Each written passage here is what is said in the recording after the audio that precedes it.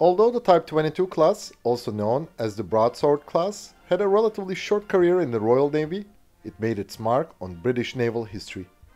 These surface combatants evolved in three batches based on real combat experiences. Today, we're investigating the Type 22 class, one of Her Majesty's legendary frigates.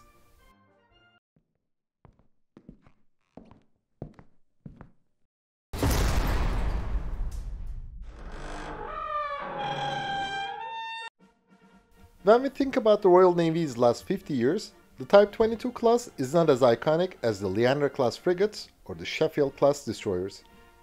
Due to the unfortunate timing of their commissioning, these surface combatants of this class had a relatively short career in Her Majesty's service. The story of the Type 22 class dates back to the mid-1960s. After the 1964 general election in the UK, the new Labour government reduced the defense budget. Two years later, it cancelled the CVA-01 program. So, at the end of the 1970s, the Royal Navy would not operate a fleet carrier. In the 1980s, the UK would have only small aircraft carriers defined as aviation-capable anti-submarine warfare cruisers at that time. So the fleet had to be reorganized. According to the new plan, the Type 42 class destroyers and the Type 22 class frigates would replace the County and Leander classes respectively. In the 1970s, many naval experts considered naval guns obsolete due to the advancements in missile technology. In line with the spirit of the time, British naval engineers intended to design a missile frigate without a main gun. The 114mm Mark VI naval guns and 40mm L-60 air defense guns of the many previous Leander-class vessels had already been replaced by the MM-38 Exocet anti-ship or Ikara anti-submarine missiles and the Seacat air defense missiles. The Type 22 class was the first to be designed in the UK from the beginning without a large caliber gun turret. The new surface combatant would be larger than the existing frigates, allowing it to accommodate more electronics and to have good sea-keeping capability. At that time, many air forces still used conventional bombs for anti-surface warfare. Also, the Soviet anti-ship missiles of the time were generally as large as jet fighters. In the reorganized Royal Navy, the Sea Harriers and the Type 42 class destroyers would provide area air defense. A close-range air defense system would be sufficient for an anti-submarine warfare frigate. Thus, the Type 22 class would carry Seawolf missiles with a 5 km range. Initially, the Brits evaluated executing a joint program with the Dutch.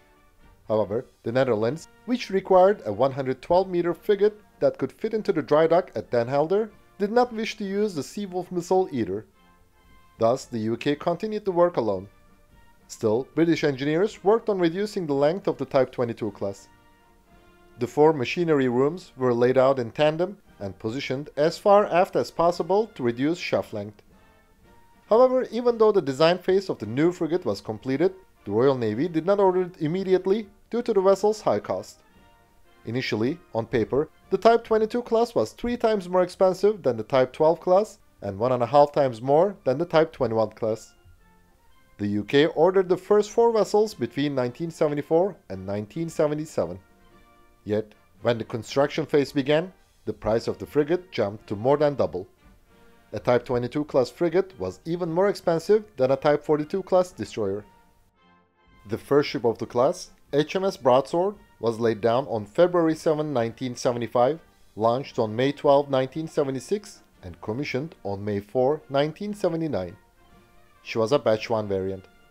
Three other frigates of this version joined the fleet between 1980 and 1982. All previous Type 21 class frigates had names that began with the letter A. For this reason, the Type 22 Batch 1s were given the names starting with the letter B. The hull is made of all-welded mild steel, while the superstructure is mainly steel, however some aluminum is also used. There is easy access to the machinery rooms for maintenance and equipment replacement. The Type 22 class was primarily designed to hunt Soviet nuclear submarines in rough sea conditions. It can maintain a speed of 24 knots in Sea State 5, which is also the maximum effective sonar speed of the frigate. Yet, it's known that at this speed and in poor weather conditions, the effectiveness of the hull sonar reduces dramatically. The British Type 22 Batch 1 class frigates had two Sextuple Seawolf air defense missile launchers with 60 reloads, 4 Exocet MM-38 anti-ship missiles, and two 324mm triple torpedo tubes. During the service period, the Royal Navy replaced the 40mm L60 guns with the 30mm DS-30Bs and added two 20mm GAM BO-1 guns to the ships. Brazil bought these four frigates in 1994. Initially, the Brazilian Navy intended to replace the forward Exocet launcher with a single 57mm SAK Mark II gun. However, it later abandoned this plan and the ships were equipped with the MM-40 Exocet missiles. In addition, two 40mm Bofors L-70 guns replaced the DS-30Bs. The Type 22 Batch 1s have a 20.5 meter long and 14.8 meter wide helipad.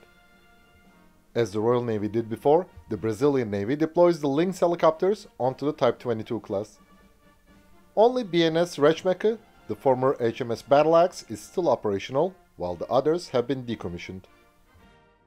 The complement of the Type 22 Batch 1 class is 273 people.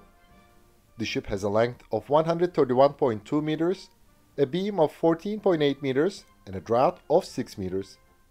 Its standard and fully loaded displacements are 3,556 and 4,000 tons respectively.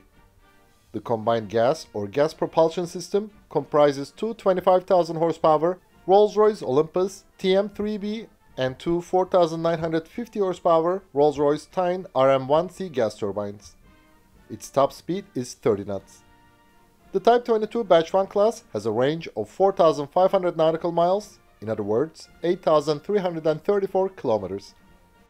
The first ship of the Type 22 Batch 2 class was HMS Boxer, which was laid down on November 1, 1979, launched on June 17, 1981, and commissioned on December 22, 1983. Initially, all frigates in this batch were to be named starting with the letter B. However, the Royal Navy abandoned this naming model after the Falklands War. It ordered two Type 22 Batch 2s as replacement ships for the lost destroyers HMS Sheffield and HMS Coventry and assigned their names to the new frigates. The Type 22 Batch 2 class was longer than the previous variant, providing more space for new electronic warfare systems a larger operation room, and the Type 2031Z towed sonar. Also, these six frigates had sharply raked stems.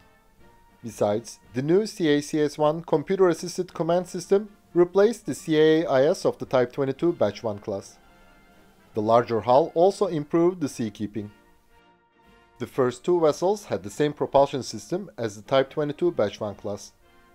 The last four frigates were fitted with two 18,725 horsepower Rolls-Royce Marine Spey SM-1A and two 4,850 horsepower Rolls-Royce Tyne RM3C cruise gas turbines in COGAG configuration. They were also 2.04 meters longer to provide a larger hangar and a longer helipad. Therefore, the last four Type 22 Batch 2 class vessels could accommodate a Sea King or EH-101 Merlin helicopter. These ships had the same armament as the Type 22 Batch 1 class in Royal Navy service. When the UK decommissioned them, one was scrapped, two were sunk as targets, and the others were sold to Chile and Romania. HMS Sheffield is now serving in the Chilean Navy as CS Almirante Williams. She has one 76mm and two 20mm Oerlikon guns, 8 RGM-84 Harpoon anti-ship missiles, Barak-1 air defense missile launchers, and two 324mm triple torpedo tubes. As the flagship of the Chilean Navy, CS Almirante Williams operates an AS-532 SC Cougar helicopter. Romania bought HMS London and HMS Coventry in 2003. The Romanian Navy has named them Regina Maria and Regele Ferdinand respectively. These frigates, which only have the 76mm gun and torpedo tubes as armaments, can operate an IAR-330 Naval helicopter. The complement, beam, speed and range of the Batch 2s are the same as those of the Type 22 Batch 1 class. The first two Type 22 Batch 2 class frigates have a length of 146.06 meters and a draught of 6.4 meters. The last four ships are 148.1 meters long. Their standard and fully loaded displacements are 4,100 and 4,800 tons respectively. After the 1982 Falklands War, the Royal Navy staff had to acknowledge the importance of naval guns. Due to the changes in the tactical thought, the UK ordered a new variant of the Type 22 class, the Batch 3. The first ship of this batch, HMS Cornwall, was laid down on September 19, 1983, launched on October 14, 1985, and commissioned on April 23, 1988. They had the same propulsion system as the last four Batch 2s. All frigates of this batch were given names starting with the letter C. They were the largest Type 22 class variant. Additionally, the Batch 3s have retained the title the largest frigates built for the Royal Navy until the Type 26 class. Nevertheless, the most significant change was the armament. They didn't possess the 30mm DS-30B and 20mm GAM BO-1 guns. Furthermore, one 114mm Mark 8 naval gun replaced the forward Exocet MM-38 launchers. The Batch 3s were also fitted with 8 RGM-84 anti-ship missiles and one 30mm 7-barrel Goalkeeper close-in weapon system. These ships, which retained the Seawolf missiles, were general-purpose frigates rather than anti-submarine warfare ones. They had facilities for a flag officer and his staff. All Batch 3 frigates were decommissioned in 2011. The speed and range of the Batch 3s were the same as those of the Batch 1s and Batch 2s. The complement of the Type 22 Batch 3 class frigate was 250 people. The ship had a length of 148.1 meters a beam of 14.8 meters and a draught of 6.4 meters. Its standard and fully loaded displacements were 4,200 and 4,900 tons respectively.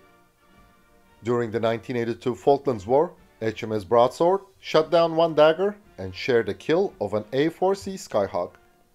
She was tasked with providing close air defense for HMS Coventry. However, due to a technical malfunction in her Seawolf missile system, the ship could not protect HMS Coventry, and two Argentine Skyhawks sank the destroyer. Two helicopters that took off from HMS Brilliant were involved in attacking the Argentine submarine ARA Santa Fe. This frigate also shot down three A-4 Skyhawks. The Lynx helicopter from HMS Brazen carried out attacks on the Iraqi fast patrol boats during the 1991 Gulf War. Also, HMS London was the flagship of the Royal Navy's task force during the war. During the 2002 Iraq War, HMS Chatham became the first British warship to fire her guns in anger since the Falklands War. During the 2011 military intervention in Libya, HMS Cumberland evacuated 454 people from Libya and then joined the blockade against this country. The Type 22 class survived the war, but not the peace. After the First Cold War, the Soviet submarine threat disappeared so the Royal Navy no longer needed a dedicated anti-submarine warfare frigate. All Batch 1s and Batch 2s were decommissioned soon afterwards. The general-purpose Batch 3s continued their duties for a while. However, the UK began to sell even the newer Type 23 class frigates. So, it didn't take long for the Royal Navy to dispose all of the Type 22 Batch 3s. If we were to speculate, we could say that if the First Cold War had continued, the Type 22 class would have been modernized and served Their Majesty for many more years. Yet they were one of the last examples of the previous generation. These frigates could not have competed with the new stealth surface combatant featuring the vertical launching system. Still, we admit that the Type 22 class fought successfully, and undoubtedly it is a legend. Thanks for watching our video, and please don't forget to subscribe to our channel and click the bell button to be notified of our new videos. Also, you can now click the join button to support our channel. And as always, we would greatly appreciate all of your likes, comments and shares.